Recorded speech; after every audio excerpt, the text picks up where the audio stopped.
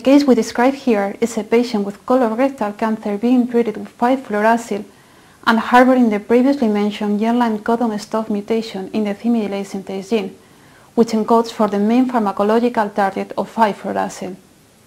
These patients suffer from toxicities under all of the 5-fluorouracil-based treatment administered, leading to dose reduction and treatment discontinuation, but still experience a similar or high response that most of the patients treated similarly.